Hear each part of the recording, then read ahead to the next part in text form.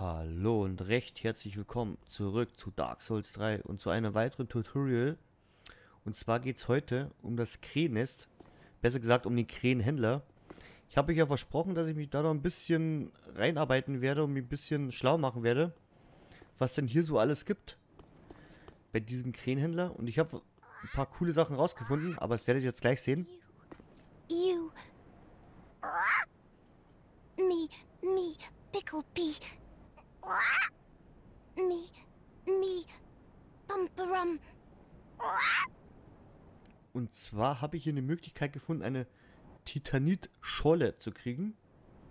Die gibt es ja nicht so oft im Spiel und die Titanit-Scholle braucht ihr, um eure Waffe auf ein plus 10 Level zu bringen. Genau, das zeige ich euch jetzt, wie das geht.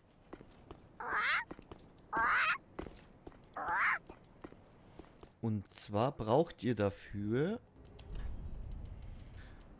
ein sogenanntes Fragment des gewundenen Schwertes. Das findet ihr in der dunklen, an dem dunklen Schrein nach dem Boss Gündur. Genau in der Mitte von dem Raum. Sieht genauso aus praktisch wie der Feuerbandschrein, nur halt die dunkle Ausführung. Genau, das nehmen wir jetzt her. Und tun es mal ablegen. Okay. Und dann schauen wir mal, was er zu sagen hat. pickle pea. Pickle pea.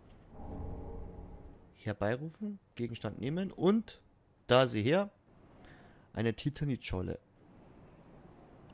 Also ihr bekommt die Geste herbeirufen, falls euch die noch fehlt und eine Titanitscholle auf jeden Fall. Genau.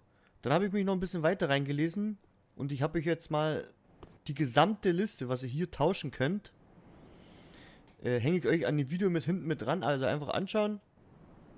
Und ganz wichtig, man kann jedes Item nur einmal pro Durchgang tauschen. Also ihr könnt jetzt da nicht irgendwie fünf glitzernde Köpfe reinlegen und da immer wieder was bekommen. Nee, es geht nur pro Item einmal pro Durchlauf.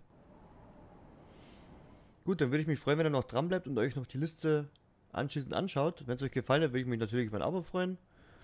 Und dann, dass ihr auch nichts mehr verpasst.